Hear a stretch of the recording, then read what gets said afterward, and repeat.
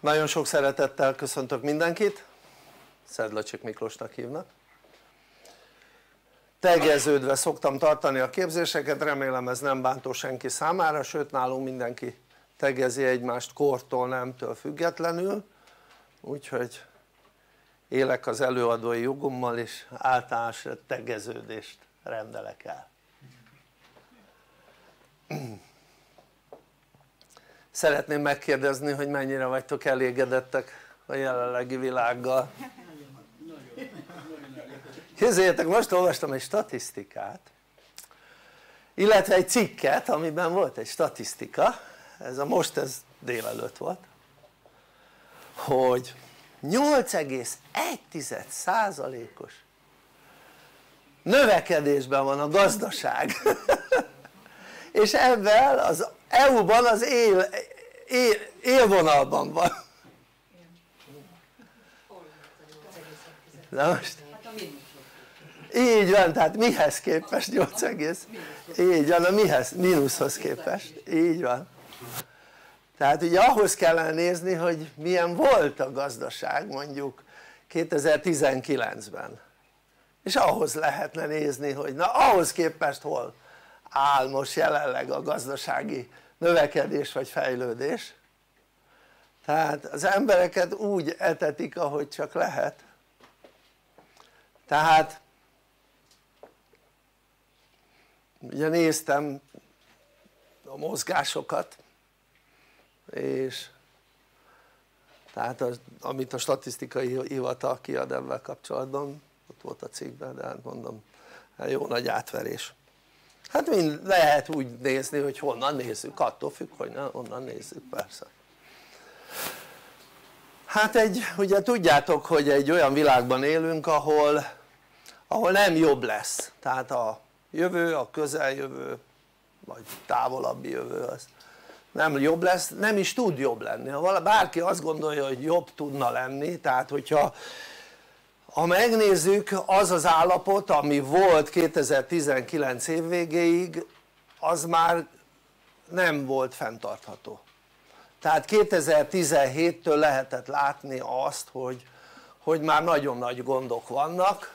Ugye én ezt láttam is ugye nem vagyok a gazdasági téren ugye nagyon olyan aki nem nagyon ért hozzá hanem elég értek hiszen pénzintézet vezető voltam a múltban még a 90-es években és és hát ugye lehetett már látni 2017-től hogy gyakorlatilag mesterségesen van fenntartva az úgynevezett növekedés. És mesterségesen pumpálták be a, a fedezetlen pénzt a gazdaságba, a világban, tehát nem Magyarországon hanem a világban. És lehetett már látni abból hogy itt nagy gondok vannak de hát ugye a nagy gondok nem ebből származnak hanem két dologból származnak. Erről már sokat beszéltem itt a díjmentes részben elsősorban hogy az egyik dolog a az emberek eladósodottsága és az országok eladósodottsága ez egy óriási probléma. Tehát ilyen mértékű eladósodottság sose volt. Tehát gyakorlatilag 2016-ra elérte az eladósodottság a 2008 előttit tehát ugye tudjátok hogy 2008-ban kirabbant egy ilyen hitelválság. Na most de 2016 év végére már elérték azt a szintet és, és 2017-re már jóval felülmúlták a, azt az eladósodottságot ami volt. Ugye ami kirobbantotta az előző válságot na hát akkor ebből már lehetett egyértelműen látni hogy ebből gondok lesznek. És ugye 2019-2020 év elejére már sokkal nagyobb mértékű volt a lakosság és az országok eladósodottsága mint előtte mármint 2008 előtt.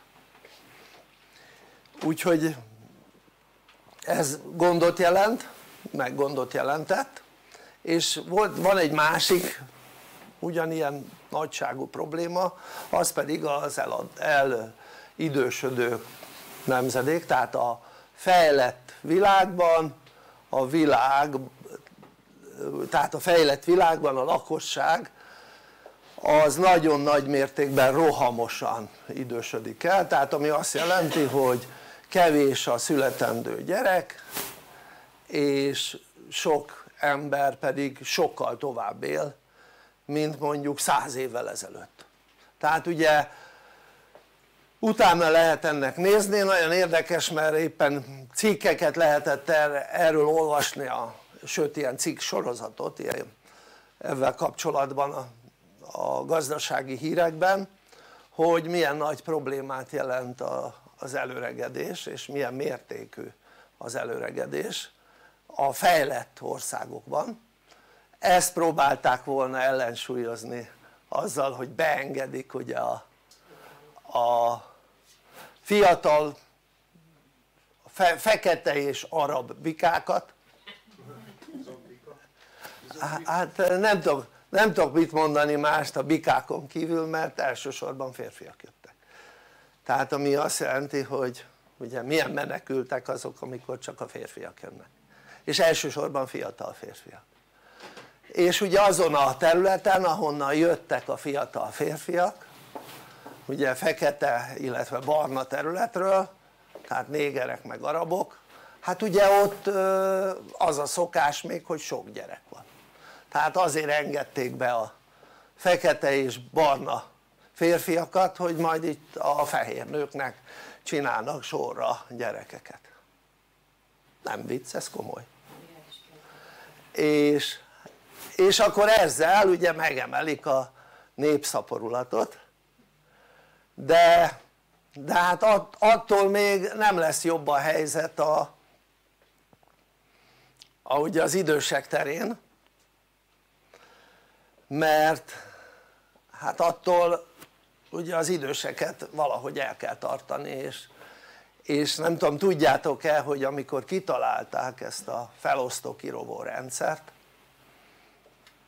az mit jelent? az azt jelenti hogy felosztják azt a pénzt amit kiróttak adóként és ugye elsősorban miben osztják fel? hát a nyugdíjakban osztják fel meg segélyekben és ez gyakorlatilag azt jelenti hogy addig rentábilis ez a fajta rendszer ameddig sok az adó és járulékfizető és onnantól kezdve ugye csődbe jut szépen fokozatosan ez a rendszer amikortól az adó és járulékfizetők kevesebben vannak mint akiknek kifizetik a, a nyugdíjat. És hát emiatt ezt úgy próbálják most áthidalni hogy folyamatosan szinte évről évről, évről évre emelik a nyugdíjkorhatárt. De szó szerint értsétek hogy évről évre emelik a nyugdíjkorhatárt. Ugye az 55 éves hölgyek simán nyugdíjba mehettek régen most már ez 65 év. Jó és ugye most még van egy olyan hogy 40 év munkaviszony után a nők elmehetnek nyugdíjba de gondolod ezt sokáig fogják tartani? ki van csukva miért? ugye azért mert a nők élnek tovább tehát hogyha a nőket kedvezményezik ezzel kapcsolatban hát akkor ugye pont azokat kedvezményezik akik sokkal hosszabb ideig élnek és magyarul sokkal tovább igénybe veszik a nyugdíjat mint a férfiak úgyhogy nem valószínű hogy ezt sokáig fogják csinálni hogy 40 év munkaviszony után elmehetnek a nők nyugdíjba. Úgyhogy mondhatjuk azt hogy akik a nyugdíjra számítottak vagy számítanak azok ugye jól jártak ha már nyugdíjasak de nem fognak jól járni ha csak később mennek nyugdíjba. Na most ugye azt tudjátok nem tudom mennyire tudjátok már a 90-es években Amerikában a hivatalos nyugdíjkorhatár az 70 év volt. Tehát 70 év már a 90-es években. És ugye valószínű hogy e felé tart ugye az egész Nyugat-Európa hiszen minden országban, minden országban kevesebb tehát fogy a lakosság, kevesebb gyerek születik mint amennyi kellene, ugye mennyi kellene egy, egy fenntartáshoz mennyi kellene, tehát ahhoz hogy hát nem, nem négy gyerek, olyan három. Tehát három gyerek, tehát átlag három gyerek kellene ahhoz hogy a fenntarthatóság az, az fennmaradjon. Na most de mindenütt kettő alatt van ez a szám. Tehát kettő alatt. Tehát átlagosan úgy érzi a, a kettő alatt hogy átlagosan kettő alatt van. Tehát ami azt jelenti hogy a legtöbb, legtöbb családban egy maximum két gyerek van jó és? Hát ugye emiatt hát ugye mikor hallottam én erről a kérdésről? Először még a 90-es évek ugye közepetáján. És, és ugye gazdasági elemzések voltak és szakértők általi gazdasági elemzések voltak erről a kérdésről és akkor még nem tudták a megoldást és akkor ugye azt mondták hogy várhatóan valamilyen szinten úgy lehet ezt elodázni ezt a problémát hogy megnövelik a nyugdíjkorhatárt. És ez is lett. És ez is lett. Tehát de ez csak egy elodázás mert ugye drasztikus változás van ebben a kérdésben. Tehát a népesség robbanás nemzedéke az folyamatosan megy vagy menne nyugdíjba és ugye bejön az a problematika is hogy hát ki fog alkalmazni mondjuk 60-65 év feletti alkalmazottakat. És akkor mi lesz velük? akkor, akkor hát akkor valamilyen segít kell nekik biztosítani, ha nem is nyugdíjt de hát akkor is segít kell biztosítani. Tehát a segély is pénzbe kerül annak is a forrását valahonnan elő kell teremteni. Szóval ez az egész ugye amikor ezt kitalálták ezt, a rendszert akkor rengeteg dolgozó volt és nagyon kevés nyugdíjas, miért? azért mert még a halandóság az, az ugye magas volt, tehát ami azt jelenti hogy az átlag életkor azóta csak nem, mióta kitalálták ezt a rendszert csak nem 30 évvel megnőtt érted? Mert mikor találták ki?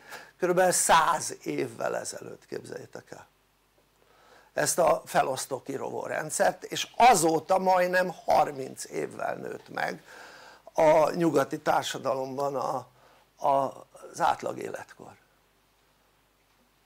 tehát ez azt jelenti hogy gyakorlatilag alig voltak olyanok akiknek nyugdíjat kellett fizetni száz évvel ezelőtt ugye most meg sokkal többen vannak mint azok akik, akik finanszírozni tudják a nyugdíjasoknak az eltartását és ugye ez nem a nyugdíjasok bántása most nehogy valaki ezt félreértse de ugye emiatt mit lehet még csinálni? tehát egy az hogy növelni kell a nyugdíjat, másik mit lehet még tenni? van egy másik megoldás hogy növelni kell a, az elvonást tehát ami azt jelenti hogy növelni kell az adókat. Az állami bevétel hogy megnőjön hogy legyen miből finanszírozni a nyugdíjasokat. Tehát így is például Magyarországon egy alkalmazott utáni levonás amit gyakorlatilag úgy hívunk hogy bruttó bruttója tehát a bruttó bruttóját a legtöbb ember azt se tudja mi az. Azt tudja hogy bruttó mert az megjelenik a, a bérpapírján de azt nem tudja hogy még a bruttó után nagyon jelentős összegeket fizettek be a munkaadók tehát a, az államnak. Tehát nagyon jelentős százalékokat ilyen ilyen 30 akárhány százalékokat fizetnek be még a bruttó bruttója után.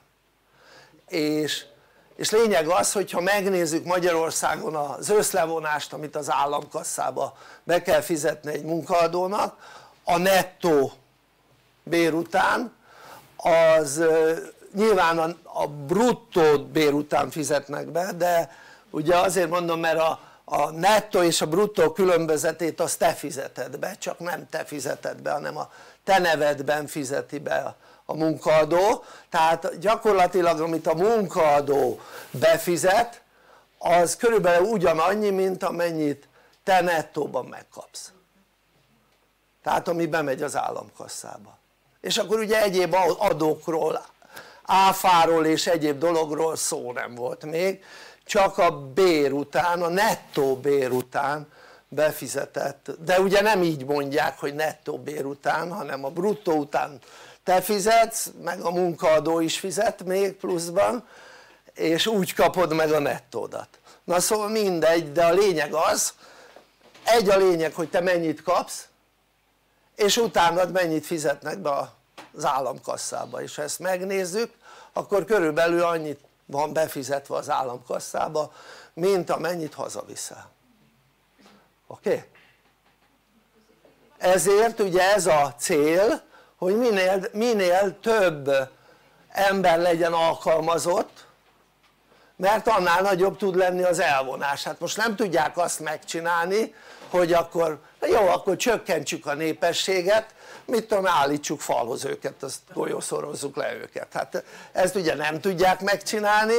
Azt sem tudják megcsinálni hogy akkor intenzívebb mérgeket alkalmazzunk az eddigieknél és akkor gyorsabban hát hogy gyorsabban meghalnak az intenzívebb mérgektől oké? Okay? tehát ilyeneket ugye azért nem tudnak megcsinálni mert ebből nagyon komoly lázadás lenne és, és a hadsereg nem valószínű hogy mellé állna a hatalomnak hanem a lakosság mellé állna tehát ami azt jelenti hogy ezeket ugye nem tudják megcsinálni ezért ugye burkoltan csinálják a dolgokat hogy az embereknek ugye ne tűnjön föl hogy mi, mi folyik a háttérben. De az egyszer biztos hogy hogy ez a rendszer ami, ami jelenleg van ez fenntarthatatlan. És nem is tudják a megoldást érted? ez a fő probléma hogy nem tudják a megoldást. Ugye mondom két megoldás van. Lehet végtelenségig növelni a nyugdíjkorhatárt azt majd 70 meg 75 meg 80 éves korban mennek az emberek nyugdíjba. Érted? meg lehet azt csinálni hogy még több elvonás a dolgozóktól. De ugye a még több elvonásból komoly problémák tudnának lenni. Tehát ott komoly tüntetések, lázadások lehetnének belőle. Tehát a legjobb megoldás úgy néz ki a hatalom számára szerte a nyugati társadalomban hogy, hogy emelik a nyugdíjkorhatárt fokozatosan és folyamatosan. Tehát például ebben az évben két nyugdíjkorhatáremelés volt, volt az év elején egy meg most lesz júliustól egy. Tehát itt a második fél évben, de ilyen másfél éveket emeltek a nyugdíjkorhatáron jó? tehát ez csak úgy az emberek már nem hallják ezeket mert bizony a cikkekben lehet ezt olvasni de a média a fősodrású média az erről nagyokat hallgat és csak azok szembesülnek ezzel a kérdéssel akik éppen el akarnak menni nyugdíjba és azt mondják neki hogy hát még nem mehetsz nyugdíjba mert még ennyi meg annyi van hátra jó tehát lényeg az hogy egy érdekes világban élünk ugye tudjátok azt hogy például ilyeneket mondanak hogy hogy klíma probléma van tehát nem légkondi probléma hanem olyan klíma probléma ami, ami ugye melegedésnek stb. stb. és ugye vannak olyan problémák hogy, hogy szén túl sok a szénmonoxid meg a széndiokszid a légkörben és mindenféle dologgal ugye etetik az embereket ezáltal ugye mit tudom én árammal kéne hogy közlekedjenek az, autók és nem kőolajjal szóval stb. stb. tehát itt etetik mindennel az embereket és, és például azzal is hogy élelmiszer problémák lesznek meg stb. stb. miatt a melegedés miatt ez a bolygó egyébként 35 milliárd ember tudna etetni, csak úgy mondom jó? csak hogy tisztában legyünk ezzel a kérdéssel mondom 35 milliárd embert az nem azt jelenti hogy olyan szinten mint a nyugati társadalom hogy itt van a fehér ember kb. 1 milliárd valahány millió 1-200 millió fehér ember van a földön és az energiának, a föld energiafogyasztásának a 70%-át a fehér ember fogyassza el és ebben benne van az élelmiszer is érted? tehát ami azt jelenti hogy gyakorlatilag a fehér ember az herdál a többihez képest, világos ez? tehát herdál, szó szerint tehát gondold végig van a fehér emberen kívül még hatszor annyi más színű ember és az a hatszor annyi egy, mennyi fele annyi, fele annyi energiát sem fogyaszt el beleértve mondom az élelmiszert is meg mindent mint, mint maga a fehér ember érted? nem azért hanem azért mert mert ugye itt indult el az a fajta felfogás az USA-ból hogy fogyasztói társadalom és ami azt jelenti hogy dobjunk ki mindent ami, ami mit tudom én mondjuk hát ami, tehát úgy csinálják hogy lejárjon és minél hamarabb ki lehessen dobni oké? Okay?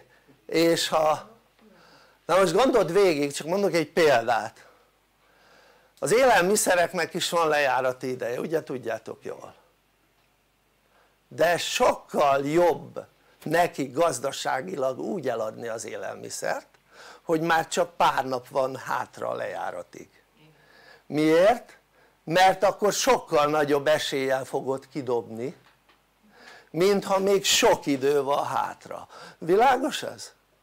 Mert ha még sok idő van hátra akkor még van időd megenni azt az élelmiszert de ha már csak pár nap van hátra akkor ránézel a lejárati időre és azt mondod hogy hopp ez éppen már tegnap előtt lejárt akkor mit csinál az ember? a legtöbb ember mit csinál? fogja és kidobja, érted? tehát ezért direkt úgy értékesítik az élelmiszerek nagy részét csak hogy világos legyen hogy gyakorlatilag a lejárat az közel van érted? tehát nem lejárt szavatosságú élelmiszerekről van szó hanem közel van a lejárat és ezáltal hamar ki kell dobni, érted? tehát hogy kénytelen legyél újat venni tehát hogy kénytelen legyél pazarolni, érted? tehát most gondold végig, mit tudom én, én ettem még olyan kenyeret annak idején amit nagymamám sütött len vidéken, Szabolcsban és ami egy hétig kenyér volt érted? mert csak hetente egyszer sütött kenyeret tehát egy hétig lehetett enni azt a kenyeret hát ma ritkán találsz olyan kenyeret ami, ami két-három a nap után is ehető érted? de ugye megnézed miért? mert ezeknek a kenyereknek olyan a héja mint a papír érted? tehát a héja miatt marad friss a kenyér hogy vastag a, vastag volt a héja a régi kenyereknek. És ha, ha tudsz venni például olyan kenyeret aminek még vastag a héja akkor az sokkal tovább friss tud maradni. És ugye most már nem olyanokat csinálnak ami vastag a héja hanem olyanokat hogy szó szerint mint a papír és kiszárad másnapra már olyan mint a tapló. Olyan száraz a kenyér jó tehát a lényeg az hogy az embereket rászoktatták tehát a fehér embert az amerikai egyesült államokban kezdték el a fogyasztói társadalmat nem tudom ezt tudjátok el a 20-as években tehát fölkérték olyan szakembereket olyan szakembereket akik ismerik az emberek gondolkodását ezek pszichikai képzettséggel, pszichológiai képzettséggel rendelkező például az egyik a, a leg ismertebb ilyen szakember az Sigmund Freudnak volt az unokaöccse és, és őt kérte föl az amerikai kormány tehát ő ugye Sigmund Freudtól nagyon sokat tanult és őt kérte föl az amerikai kormány hogy hogy lehetne, tudjátok mikor kérte fel? amikor bejött a gazdasági válság a 20-as években a világválság és ő kérte fel, az amerikai kormány kérte fel hogy mit lehet csinálni hogy az emberek vásároljanak mert addig ugye a gazdasági válság fennáll amíg az emberek nem vásárolnak ugye miért lett gazdasági válság?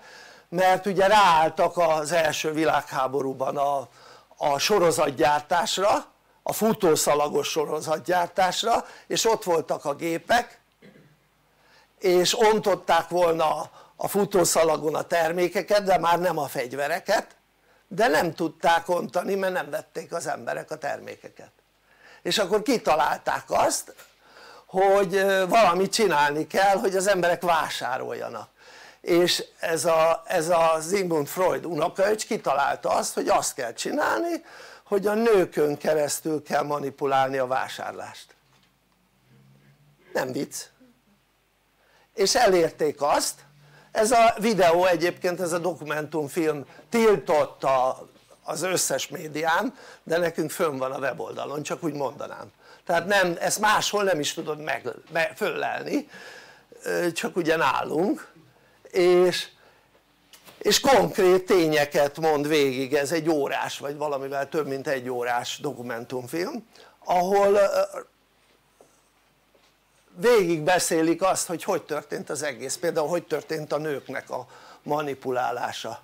Például az öltözködéssel, a divattal stb. a dohányzással stb. kapcsolatban. És ugye elakadtak azon hogy a férfiakat viszont nem tudták. És akkor rájöttek hogy ha műszaki dolgok.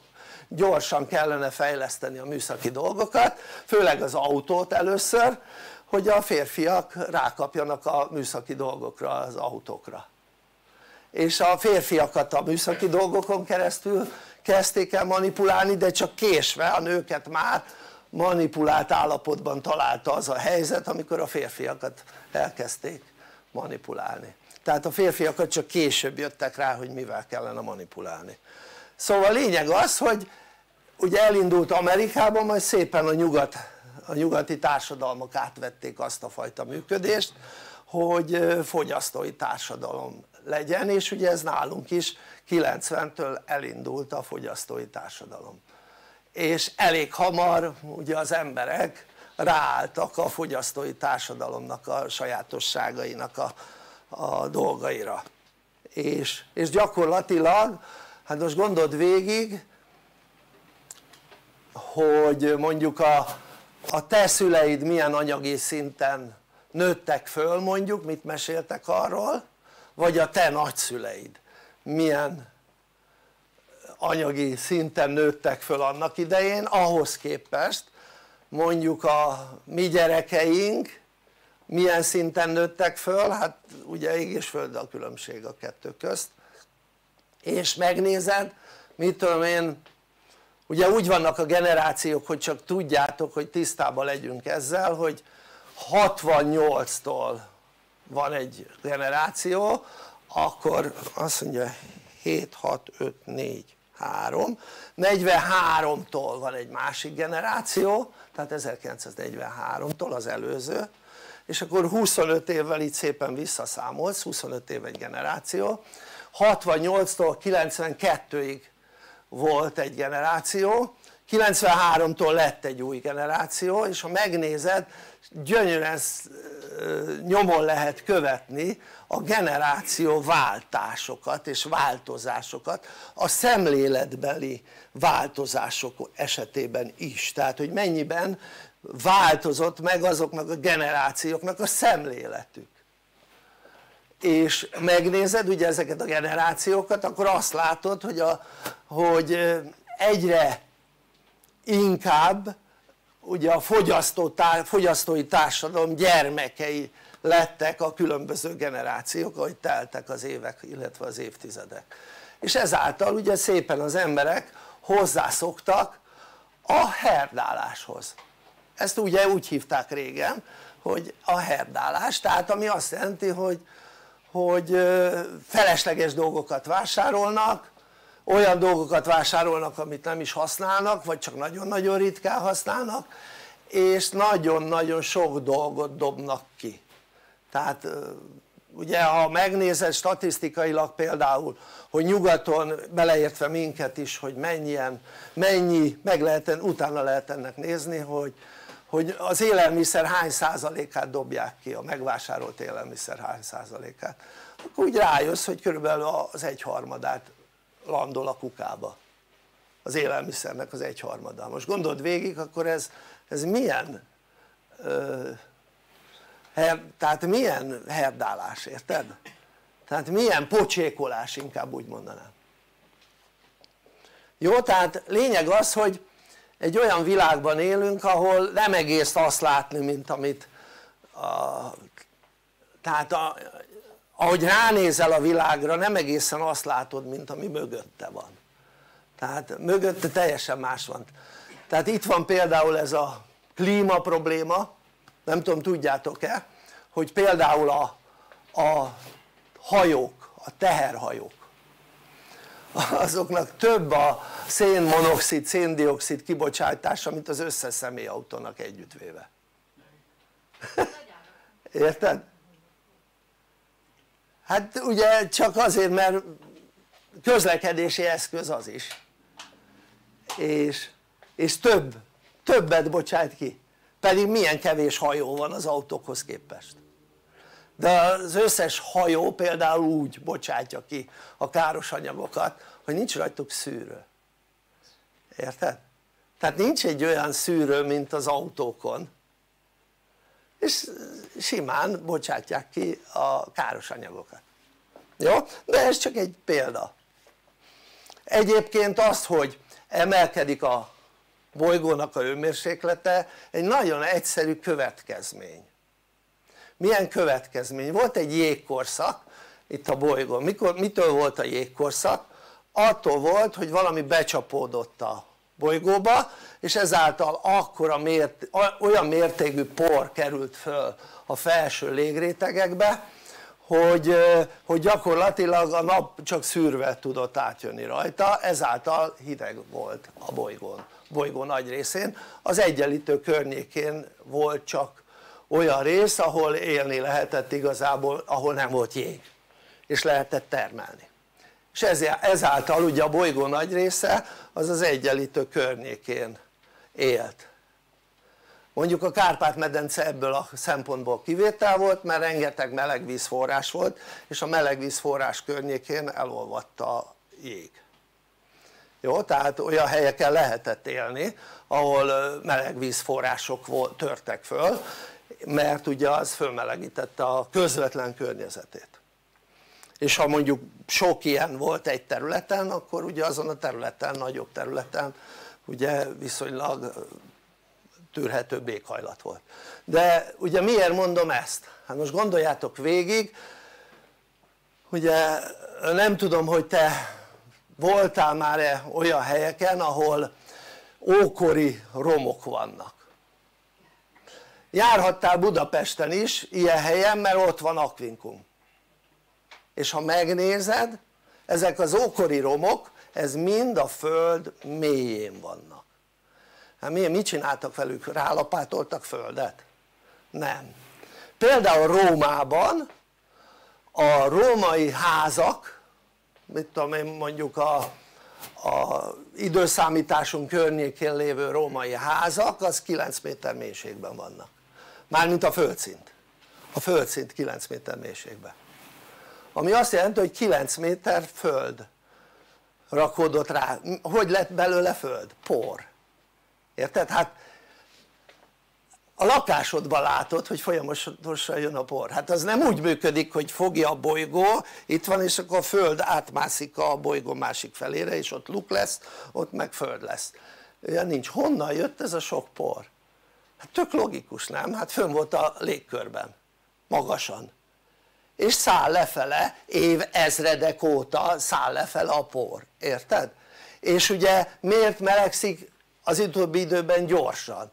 hát azért mert exponenciális a növekedés, a hőmérséklet növekedés mert annak azért gyorsul a hőmérséklet növekedés mert ugye már lényegesen kevesebb por van a légkörben mint mondjuk 30 évvel vagy 50 évvel ezelőtt és ezáltal ugye a nap sugárzás nincs úgy szűrve mint eddig. És erről egy hangot nem mondanak tehát mondok egy példát utána lehet ennek is nézni hogy például egy nagyobb vulkánkitörés mikor szétrobbant egy vulkán. Ilyen volt például a Santorini vagy ilyen volt például mondjuk a Krakatau vulkán szétrobbant. És olyankor olyan mértékű por került föl a felső légkörbe hogy a bolygónak az, ég, az éghajlata megváltozott ami azt jelenti hogy, hogy fokokkal csökkent a bolygó hőmérséklete évtizedek vagy évszázadokra, érted? Tehát a Krakatau vulkán mikor szétrobbant valami mit tudom én másfél fokot csökkent az egész bolygó átlag hőmérséklete valami mit tudom én 70 évig volt ez mérhető érted? tehát 70 év múlva át vissza az a hőmérséklet mint ami szétrobbanáskor vagy szétrobbanás előtt volt érted? tehát ez ilyen egyszerű ami azt jelenti hogy, hogy sokkal tisztább a levegő mint por szempontjából mint valaha volt és ezáltal ugye a nap az könnyebben áttűz és nyilván jobban melegíti a bolygót természetesen. És ugye én mondtam már régen, ezt, ezt régóta tudom azért mert ugye mi sok olyan helyen voltunk és furcsa volt mindenütt hogy hát hogy miért vannak olyan mélyen lenne a, mélyen a ókori meg őskori romok, miért? hát azért mert ugye annyi por rakódik rá. Hát te is ha nem takarítanál lakásodba sose takarítottál volna. Már milyen vastag por lenne a lakásodba gondold végig. Pedig az egy zárt tér és mégis, érted? jó és ezt ugye miért mondom? Mert megint nem erről beszélnek hanem olyan dolgokat csinálnak amivel frusztrálnak, frusztrálják az embereket, tehát zaklatottá teszik. Tehát azzá kell az embereket tenni, úgy gondolják hogy azzá kell tenni hogy ő érezzen felelősséget az iránt hogy melegszik a bolygó, érted? hát nem tudom te gyárkémény vagy-e. Én nem érzem magam annak. Tehát és gyakorlatilag az emberek nagy része az nem tehet arról ami ezen a bolygón zajlik, érted? de mégiscsak elérik az embereknél azt hogy, hogy ők hát hogy azt, azt gondolják hogy miattuk van ez az egész, érted? és, és akkor ez milyen érzés? mikor az embernek igen bűntudatot így van köszönöm szépen. Tehát bűntudatot éreztetnek az emberekkel. És ha az embernek bűntudata van nem tudom neked volt-e valaha már bűntudatod hát az nem egy jó hangulat. Tehát a bűntudat az lehúzza az embert hangulatban. És ha megnézed egy csomó olyan dolgot elkövetnek az emberekkel szemben ami azt eredményezi hogy romoljon nekik a hangulatuk miért kell hogy romoljon az emberek hangulata? mert ha nem, tehát jó hangulatú lennél akkor az életed irányítását teljes egészében a saját kezedben tartanád. Na most azt gondolja a legtöbb ember hogy a saját életének az irányítását a saját kezébe tartja. Aha és mit csinálnának akkor ha holnap kirúgnának a munkahelyedről? Akkor is az életed irányítását a saját kezedbe tartanád? Vagy például ha nyugdíjas vagy mondjuk holnap azt mondanák hogy hónaptól nincs nyugdíj. Mit csinálnál? akkor is az életedet te irányítod? Hm? tehát úgy a, a lényeg az hogy hogy az életünk irányítása a saját kezünkbe akkor történik hogyha a bevételeid teljes egészében a cserék révén tőled függnek érted? tehát és te határozod meg hogy mit csinálsz mikor csinálod, mikor kelsz stb. stb. na akkor te határozod meg az életedet de egyébként nem tehát magát például a jövedelmedet te hozod létre nem kapod például egy mit tudom én munkaadótól hát nyilván az, az, az is kapás ha cserélsz az, de, de az más, érted? tehát gondold végig egy alkalmazott nem ő bonyolítja le a bevételének a cseréjét oké? Okay? hanem ki? hát a tulajdonos nem? lehet hogy a tulajdonos megbízott egy alkalmazottját aki lebonyolítja a cserét de gyakorlatilag akkor is a tulajdonostól függött hogy ott létrejön egy csere tehát dolgozik alkalmazottként valaki egy szolgáltatásban vagy dolgozik alkalmazottként valaki mondjuk egy egy termelésben de nem ő bonyolítja le a cserét, érted? neki semmi köze a cseréhez ami azt jelenti hogy nem tőle függ a csere és ő azt mondja még akkor is ha esetleg nem tudja elcserélni a tulajdonos azt a gyártott valamit vagy azt a szolgáltatást amit ugye értékesítenek nem tudja eladni az alkalmazott akkor is azt mondja én megdolgoztam a pénzem engem nem érdekel hogy te nem tudtad eladni a terméket vagy nem tudtad eladni a szolgáltatást ide a lóvét érted? vagy nem így működik? hát de ez pontosan így működik ami azt jelenti hogy gyakorlatilag itt nem, nem az emberek nem saját maguk, kik azok akik saját maguk irányítják az életet? a cég tulajdonosok és a, azok a vállalkozók akik nem kényszervállalkozók, érted? és akkor létrehoznak valami szolgáltatást vagy létrehoznak valami terméket és azt elcserélik pénzre mondjuk oké? Okay? tehát eladják és pénz lesz belőle na most gondold végig ha már így eszembe jutott ez a szó hogy eladják gondold végig a legtöbb ember ettől a szótól hogy eladás mindenféle gondolatai támadnak a legtöbb embernek de általában nem pozitív de gondold végig ha nem lenne eladás, értékesítés akkor te már rég éhe haltál volna érted? tehát az, maga az értékesítés, az eladás az a gazdaság működtetője, érted? Most mondok példát hogy átlássátok. Volt egy zseni. Úgy, hitta, úgy hívták hogy Tesla. Zseniális dolgokat talált ki. Soha a történelem során nem, nem tudunk még egy olyan feltalálóról akinek annyi találmánya lett volna és olyan fontos találmányai mint a Teslának. És mégis szegényen halt meg, tudod miért? mert nem tudta eladni a találmányait, érted? nem tudta eladni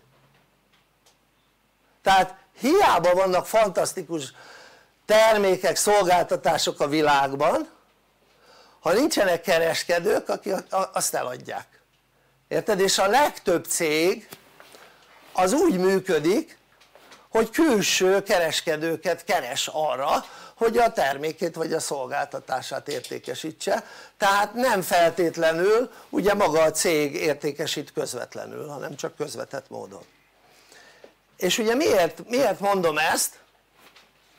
mert nem tudom tudjátok-e hogy a cég tulajdonosok után beleértve minden alkalmazottat, például van egy nagy cég, jó?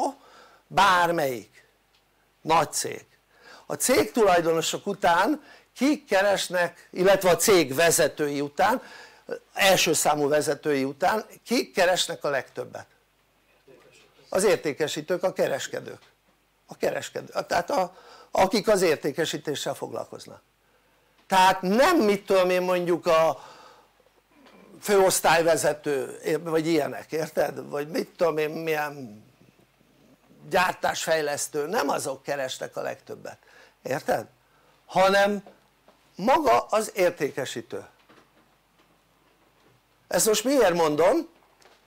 azért mondom mert itt van például Magyarország mi egy olyan helyzetben vagyunk hogy Európa közepén vagyunk és ugye ezt én már 90-es években mondtam a rendszerváltás után rögtön mert már akkor ugye emberek képzésével kezdtem el foglalkozni 93-tól hogy ugye ha lenne egy cseppeszünk magyaroknak akkor ráállnánk a kereskedésre miért?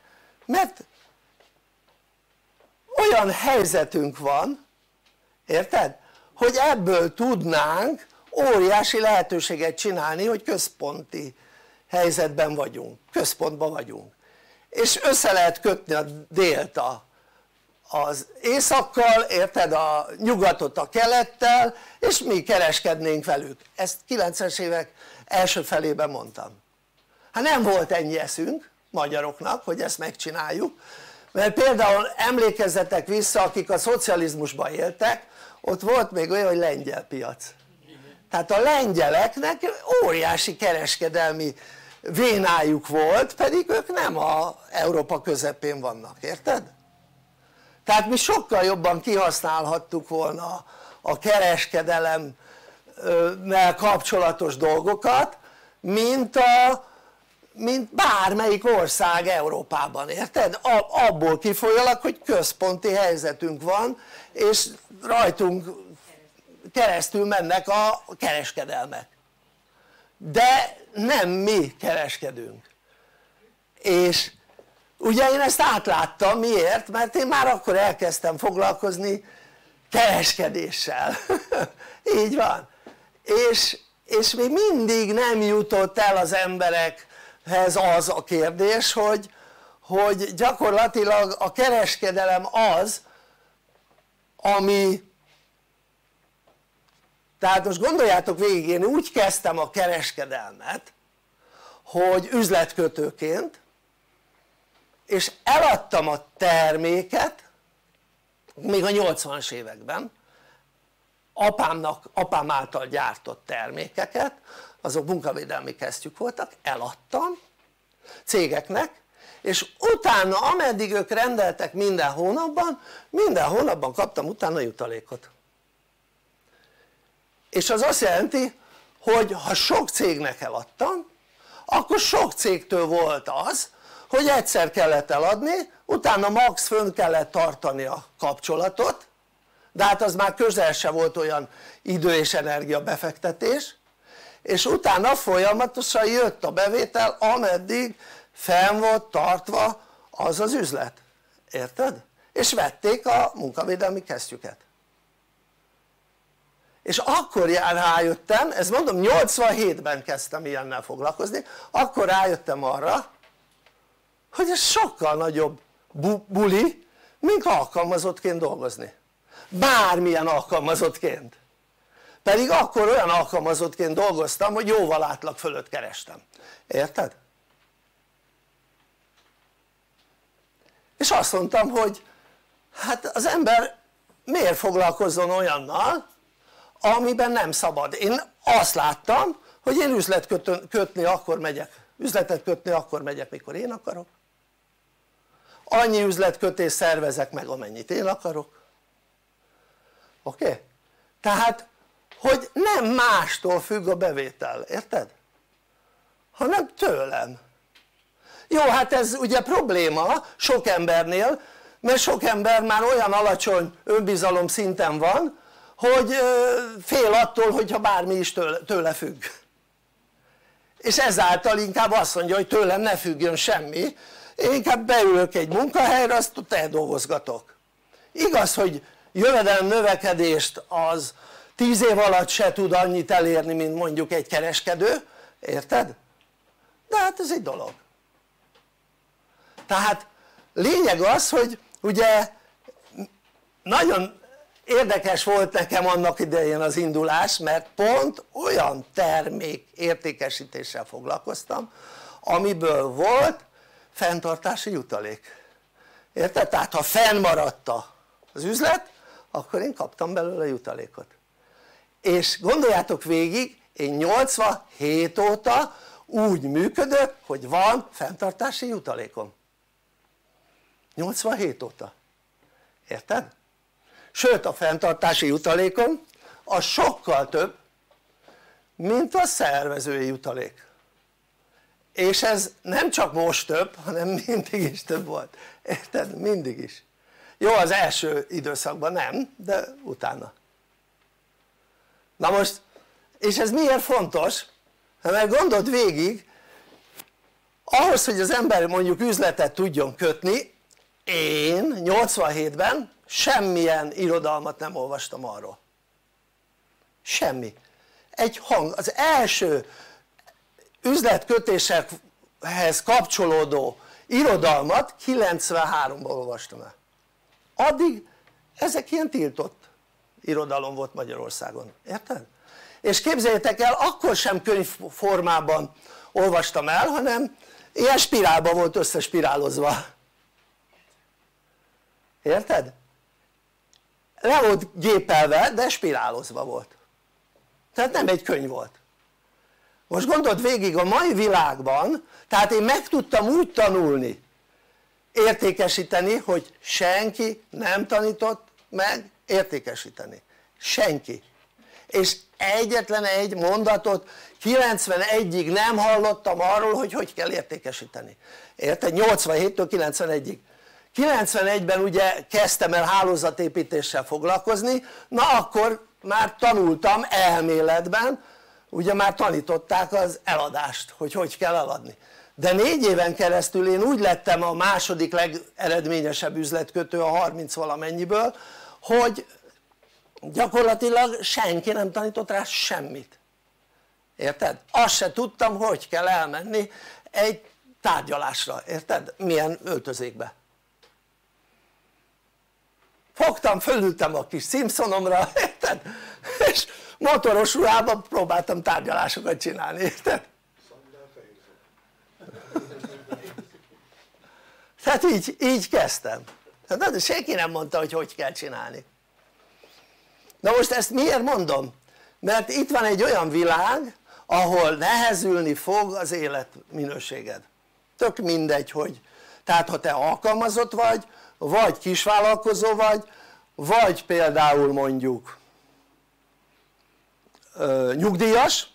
Tudti hogy a pénzed az jóval kevesebbet fog érni mint amennyit most ér, ezt honnan tudom és honnan tudod te is? nagyon egyszerű, az elmúlt pár hónapban, január óta magasabb volt az áremelkedés mint tavaly egész évben. Ha megnézed a termékek áremelkedését. Érted? na most ebben az évben olyan áremelkedések vannak ha te jársz vásárolni ha, minden nap jársz akkor nem biztos hogy észreveszed. Én hetente egyszer megyek mert a nejem csinálja a, a közte a be, bevásárlásokat és én hetente egyszer el szoktam menni vásárolni és totál meglepődök hogy már megint egy hét alatt mennyit emelkedtek az árak. Érted? egy hét alatt na most ezt én még ilyet sose láttam. Még akkor sem láttam ilyet mikor az a nagy infláció volt a 93-94 környékén emlékeztek akkor bevallottan 36%-os infláció volt. Most bevallottan 10%-os infláció van. Szerintem egy hónap alatt van 10%-os infláció nem egy év alatt. De azt mondják hogy egy év alatt van 10%-os infláció. És lényeg az hogy mondom ha visszaemlékszel a 90-es évek első felében volt egy hatalmas infláció és, és akkor emlékszel arra hogy hetente emelkedtek az árak? tehát hétről hétre egyre drágább volt minden? én nem nem, nem volt ilyen nem volt olyan hogy például mit tudom én négy 4-5 hónap alatt nem egész fél év alatt bizonyos termékek duplájára emelkednek például mondjuk építőipari termékek duplázódtak érted? például a faanyag duplájára ment föl fél év alatt érted? ilyenre miatt eszemet tudom nem volt példa érted? és ugye szoktam venni mit tudom én mondjuk azonos típusú szalámit és akkor azt látom hogy egy hét múlva már megint drágább egy hét múlva már megint drágább ugyanaz a szalámi, érted? Tehát hogyha valaki ezt nem látja akkor olyan mint a becsukott szemmel élni az életét szó szerint. Tehát gondold végig mikor ér el az a határ el téged, mikor ér el téged az a határ hogy, hogy össze kell húznod magadat. Mert egyszerűen a jövedelmet bármi legyen az nyugdíj vagy fizetés vagy kisvállalkozói jövedelem nem jön ki belőle úgy mint eddig gondold végig ez be fog következni. Méghozzá rövid időn belül. És ez nem pessimizmus hanem ez van. És akkor ugye minek kellett a Covid? azért hogy ne a kormányt hibáztassák az emberek a gazdasági válságért. Minek kell a háború? ugyanez hogy ne a kormányt hibáztassák. Most nem a tehát ne, ne hogy félreértsétek mert ez félreérthető volt. Tehát nem azért hozták létre a háborút hogy most lehessen arra hivatkozni az létrejött. De arra hivatkoznak érted? na most pedig ez egy nagy baromság mert bárhol háború volt a világban és akik azt a háborút valamilyen szinten segítették azok mind baromi jól jártak azok az országok, érted? tehát segítették hogy tovább, mivel lehet segíteni hogy tovább menjen a háború? hát fegyverrel, persze tehát fegyverezni kell az országokat és akkor tovább háborúznak egymással és ugye általában melyiket kell jobban fegyver, fegyverezni? hát a gyengébbek, logikus nem? és ugye a gyengébb minél erősebb lesz annál tovább tart a háború és annál több fegyvert kell megvenni, annál több újjáépítésre lesz, szükség stb. stb. érted? annál több dolog megy ott tönkre az országban és annál nagyobb biznisz azoknak akik finanszírozzák az hogy az a háború tovább folyjon tehát de most gondold végig erre mit mondanak itt? hogy emiatt van a válság hát Putyinnak bék, izé, egészségügyi, hogy hívják ezt a Nobel-díjat? mert ott is van az egészségben is van na mindegy, egészségügyi Nobel-díjat kéne adni mert elindította a háborút és megszűnt a Covid érted? Hát, szóval lényeg, lényeg az hogy, hogy egy olyan világban élünk gondold végig ahol az emberek nem látják még ezt át tehát mit fogsz kezdeni akkor hogyha tényleg bajba leszel. Tehát van egy mondás. Ez egy alapmondás. Ezt én a 90-es évek elején hallottam legelőször. Egy kutat nem akkor kell kezdeni kiásni mikor már szomjas vagy, megszomjaztál, érted? a kutat akkor kell kiásni mikor még van vized, érted? Na most az emberek pedig pont ezt csinálják, akkor fognak óbégatni mikor már elfogyott a pénzük, érted? nem elfogyott, elértéktelenedett, mert ez a jobb kifejezés. Tehát ilyen mértékű pénzromlást én nem éltem meg még mint ami most van. És nem csak a forint, a forint az még jobban romlik mint ugye a, mit tudom, az ilyen nagy valutákhoz képest. De az euró is romlik, a dollár is romlik. Csak a forint ahhoz képest még jobban romlik ezért úgy néz ki mint hogy a forinthoz képest azok javulnának. Közben nem javulnak hanem azok is romlanak csak nem olyan mértékben. Tehát hogyha egy pénz mondjuk évente 5%-ot romlik a másik meg 15-öt akkor a, amelyik 15-öt romlit ahhoz képest amelyik 5%-ot romlott az 10%-ot javult nem tudom világos-e? oké? Okay? tehát legalábbis úgy látják azok akiknek nagyobb mértékben romlott a pénzük márpedig itt a, abban a régióban amiben mi vagyunk ahol ugye nem eurózónában vagyunk tehát nincs euró nem sok olyan ország van ahol nincs euró mert nincs euró a, ugye a bulgároknak, a románoknak, a, nekünk, a lengyeleknek meg a cseheknek meg fönn északon még ugye vannak a svédek. És de ha itt minket megnézzük ugye a cseh, lengyel, magyar, román, bolgár ezt, ezeket az országokat ezek közül ugye egy kicsit úgy párhuzamosan mozognak de mégse mert mégiscsak a forint romlik a legjobban. Tehát ezek közül a pénzek közül. Na most lehet azt mondani hogy mit tudom 8%-os gazdasági 8,1%-os gazdasági növekedésünk van mikor mondjuk amellett volt 15%-os pénzromlás.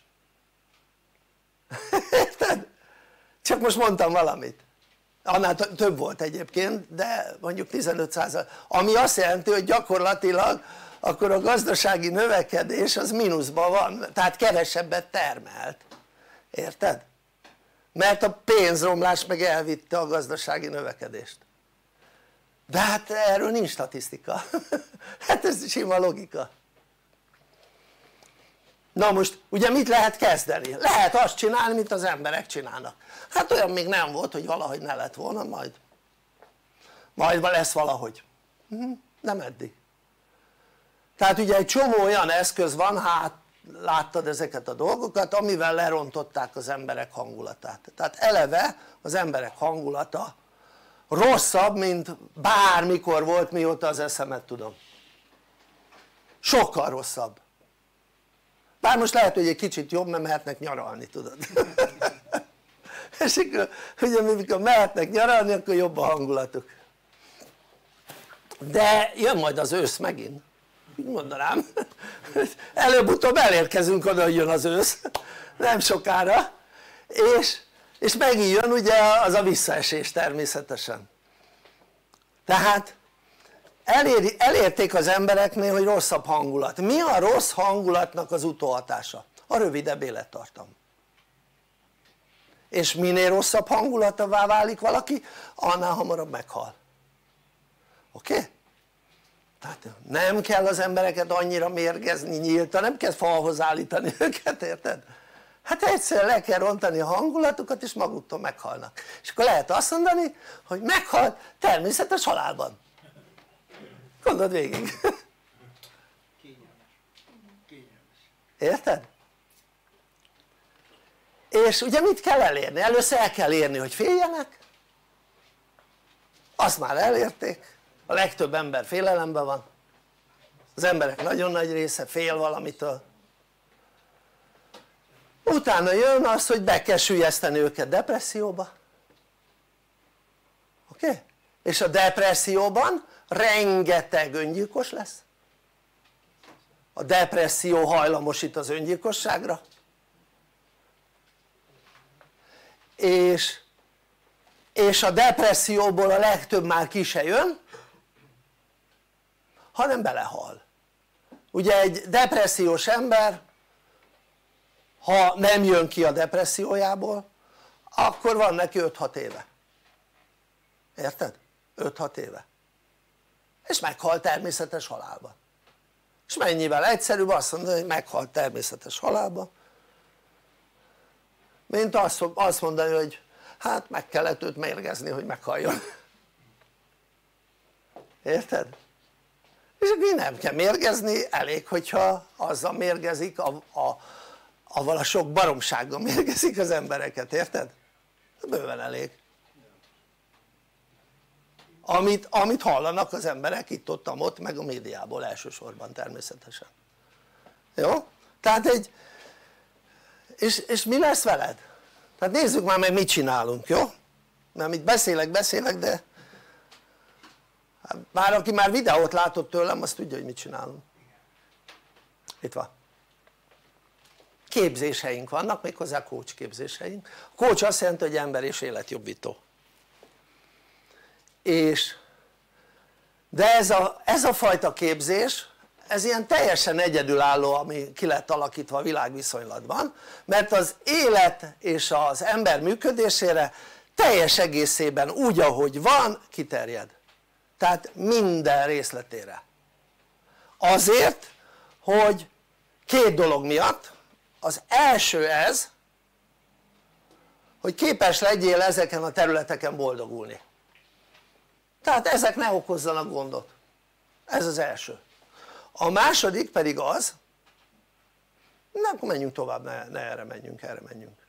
A második pedig az hogy elindulj ezeken a lépéseken. Ez, ezeket úgy hívják hogy a fejlődés hét szintje. Méghozzá a lelki fejlődés hét szintje. Ami azt jelenti hogy nem maradj itt hanem legyél egy közösség része. Kapjál elismerést hogy majd tudjál adni elismerést. Majd valósítsd meg önmagadat az összes tudást. Magadból add ki add tovább másoknak és annak utána van egy következő lépés az aranykor, ide visszamegyünk 2035-re ezen a bolygón aranykornak kell lenni, ezt nem én mondom hanem nálamnál okosabb lények mondom lények. Nem emberek és ennyi határidőt adtak még a 2012-höz úgyhogy örüljünk és csóváljuk a farkunk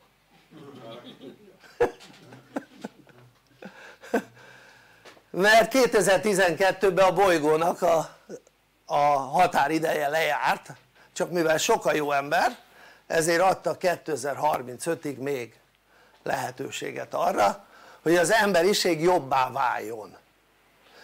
De csak egyféleképpen tud az emberiség jobbá válni hogyha ezeken végig megy opá nem erre kell menni erre. Ezeken végig megy de ezeken csak együtt lehet végig menni és aki nem megy végig az nem éli meg az aranykort, milyen egyszerű. Aznál el tudják azt érni hogy olyan rossz állapotba kerüljön hogy földobja a talpát. Ilyen egyszerű. Oké? Egyébként nézzétek meg a környezetetekben hogy mostanában hány váratlan haláleset történt oké?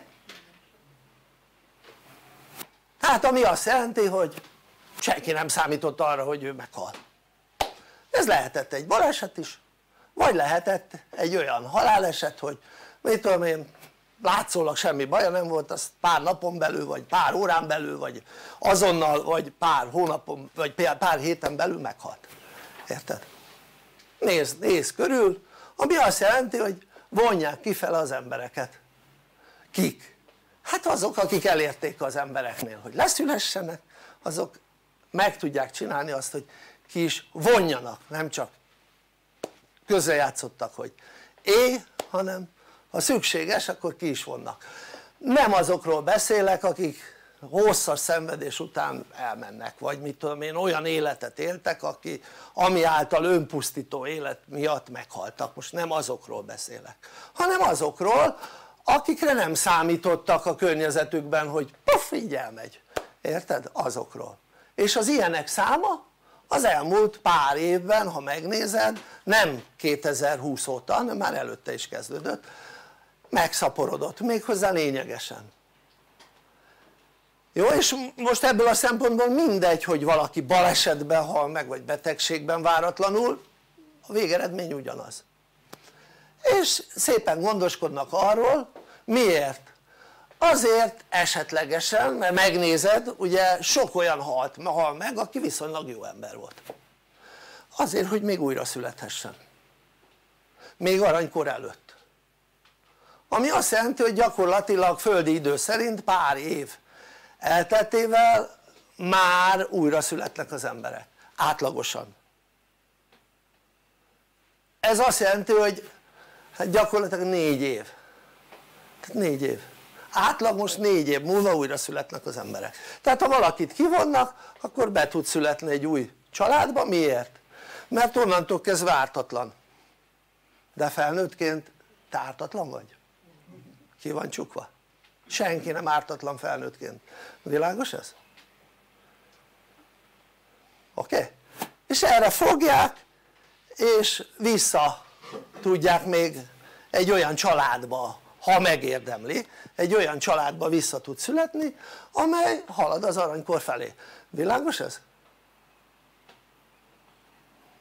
tehát ahhoz hogy az emberek észbe kapjanak sajnos meg kell nehezülniük az életkörülményeiknek. Különben nem kapnak észbe. Minél jobb módban élnek az emberek annál távolabb vannak a szellemiségtől és a szellemi fejlődéstől illetve a lelki fejlődéstől. Annál távolabb megnézed a nyugati társadalomban akik már elmentek tehát meghaltak mit fejlődtek ott az emberek? az ég adta a világon semmit. Leéltek akár 80 évet vagy 90-et érted? És egy jottányit se fejlődtek. Semmit, érted? semmit de ez érvényes rá, ránk is magyarokra ha megnézzük hát ahogy idősödnek az emberek hát nem bölcsebbé válnak hanem ilyen elhűlés van szó szerint vagy nem jól látom? nyilván tisztelt mindig a kivételeknek persze és akkor csodálkoznak a, az idősek hogy a fiataloktól nem kapnak tiszteletet hát apám megkérdezném tőled mennyire vagy bölcs? megérdemled a tiszteletet? Vagy úgy vagy hülye ahogy vagy.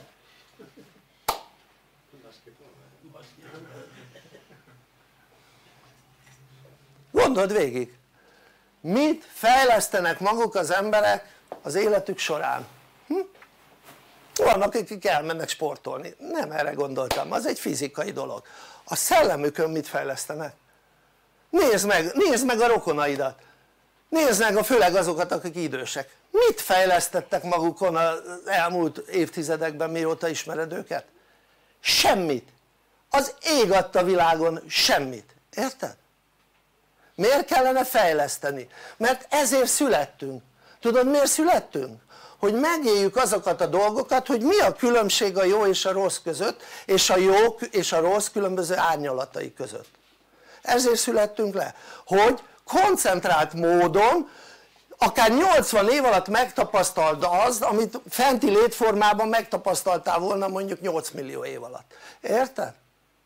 és itt megtapasztalt 80 év alatt. Ezért vagyunk itt. És, és az a tudás az el van mentve. És az gyűlik, gyűlik életről életre de miért kell erre az életre visszaszületni mikor nem innen jöttél? te nem ember voltál eredendően hanem egy Isten minimum angyal érted? de az már isteni szint az az isteni szint legalja de az angyalokról ugye nem rossz véleményünk van hanem jó oké? Okay? Tehát minimum itt az emberek angyali szintről jöttek ide. Hát még gondold végig Lucifer is angyal volt. Ő is az angyali létformából jött. Csak ő egy magasabb szintű angyal volt. Tehát most hogy angyal vagy Isten gyakorlatilag ez most kifejezés kérdése csak semmi más mert ugyanarról a létformáról beszélünk. Milyen létforma? ami legalább negyedik dimenzió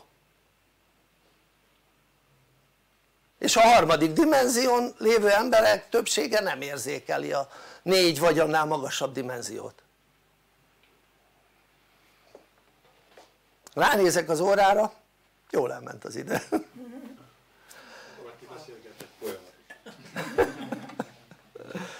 No szóval lényeg az hogy lehet keresgélni olyan szervezeteket amely teljes átfogó tudást nyújt az élet és az ember működéséről.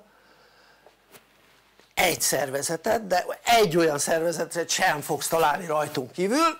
Sok szervezetet fogsz találni de akkor ott azt mind meg kell járni. Érted? és ha te sok szervezetnél akarsz tanulni akkor különböző feltételekkel fogsz tanulni és lehet hogy a lelkedet is el kell adni mert vannak olyan szervezetek ahol a lelkedet is el kell adni ha ott tanulni akarsz nem vicc oké? Okay? ha nem a lelkedet kell adni akkor meg lehet hogy a lakásodat vagy a házadat hogy ki tud fizetni a saját képzéseidet komolyan mondom de nem vicc nem egy olyan embert ismerek aki annyi pénzt fizetett a saját képzésére máshol hogy eladta az összes vagyonát, érted? ahhoz hogy ki tudja fizetni a képzéseket és ahol, ahol nem kérnek mondjuk nagy összegeket vagy pénzt azért hogy ott tanulj akkor a lelkedet veszik meg oké? Okay? de tényleg például lehet buddhistáknál is tanulni de akkor a családodat az felejtsd el oké? Okay? és mehetsz oda évekre tanulni és akkor be lesz zárva egy kolostorba érted? lesz egy, egy-két ruhád ez ennyi és akkor tanulhatsz jó? de nem leértékelem az ott lévő tudást jó? most nehogy félreértsétek tehát az ember ha tanul, úgy akar tanulni hogy nem akarja feladni az életét és egy helyen akar minden tudást megkapni de szó szerint minden tudást akkor itt van egy hely. És ugye miért van lehetőség arra hogy minden tudást? Az elmúlt 12 évben mióta főtevékenységben csinálom az emberek képzését előtte a vezetőknek adtam át az ilyen típusú képzéseket azóta az élet és az ember működésével nem, kapcsolatban nem tudtak olyan kérdést föltenni amire mondjuk pár percen belül ne adtam volna meg a választ és nem azért mert mert mindent tudok, nem, azért mert minden információval el tudnak látni ami ahhoz kell hogyha vala, hogy valakinek a fejlődéséhez szükséges oké? Okay? úgyhogy várunk szeretettel a bolygó legkedvezőbb képzési rendszerébe ahol még az anyagi helyzetedet is tudod biztosítani teljes egészében úgyhogy nem alkalmazottként hanem szabad emberként köszönöm szépen a figyelmeteket, szeretlek benneteket, sziasztok!